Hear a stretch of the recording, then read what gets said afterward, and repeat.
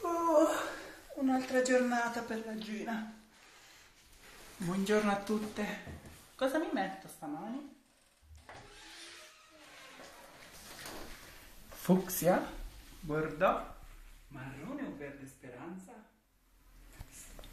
Un bacio dalla vostra Gina.